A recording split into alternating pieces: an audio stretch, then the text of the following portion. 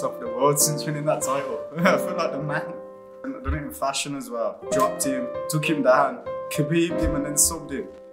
And I subbed the grappler as well. So yeah, he was a high level purple belt, and I got the submission. So happy with that as well. What does that mean for you going forward into the pros? A lot of confidence, a lot of like carry that momentum now. I worked with uh, Tom near enough every single day for that in that camp. Every day, and the level, my level just went boom. Working with him, so yeah. That's interesting because you, you're obviously a big gym here, but the fact that you got it done in such style is a testament to not just Tom, but the, boxing, the blood and everything. Do you feel like it was just everything culminating in that night? Yeah, literally, I've done everything, can I dropped him, subbed him, um, everything, literally showed all aspects of mixed martial arts in that fight. So, yeah, I'm very happy with my Do performance. you feel like you're underrated? Nah, not really.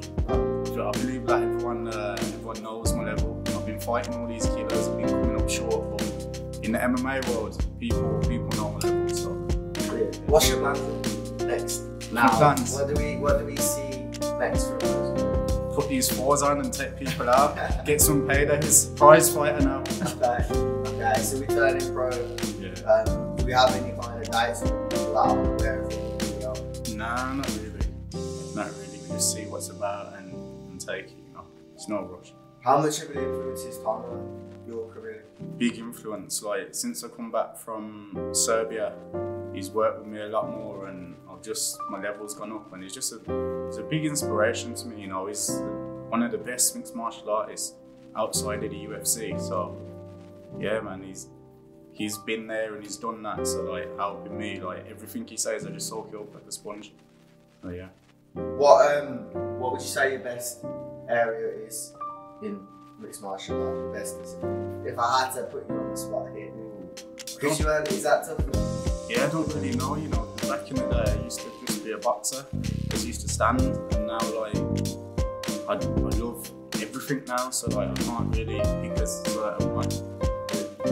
Are you going to be the same like um, in the pros? Not in terms of your style, but in terms of like wanting to fight. It's a business now. I was with um, I was with I don't know if you know you know Kieran Cowley, McGregor's mate. I was with him on the weekend, and we were talking, and he's saying, "Yo, like when you turn pro, it's a business now. You need to like you need to be smart because once that record's there now, amateur record's Yeah, yeah. gone, it's done. Like I fought whoever, six hours notice, whatnot. But now you can't be doing that now. It's a business. I need to be more professional about it. Do you have a time scale of when you want to fight Before the year's out, definitely. before the end of the year? definitely. Something I read in the build up to this interview when you put seasoned amateur, veteran fight against 40 amateur fights, the biggest amateur title in Europe for top prospects at flyweight, bantamweight, and featherweight, representing England at the IMMAF World Championship, now the journey. Did you like expand, interesting. It, it, it talks just about the story in the amateur, but like, just explain that caption. That's just like uh, apprenticeship's done. Yeah, apprenticeship's done. Now, now I'm qualified and going to work. I like it. Could you? Okay, I'm and the Emma teammate. Just discuss your like time in Serbia um, because we didn't actually do the drop. yeah, you come a day late or something. you come a day late.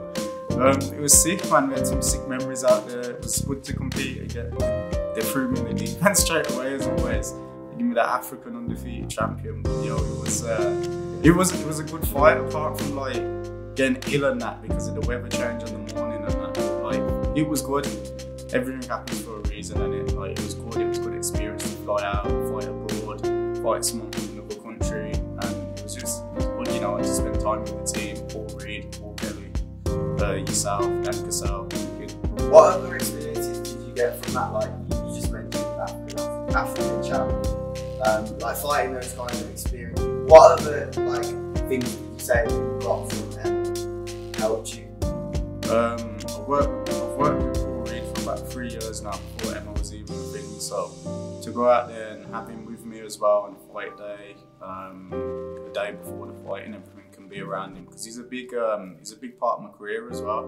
He's always been there for me, helps me a lot. So yeah, it was just just good times and good relationship building as well. Any final message to the people that you'll be fighting as you, look to town? Yeah, well, I've never been in a boring fight, and now these fours are gonna come on. Um, me and Tom think I'll be putting everyone out, so if you see me fighting, buy the pay per view, buy a ticket, because uh, these are gonna be locked and loaded, ready to go. Let's go.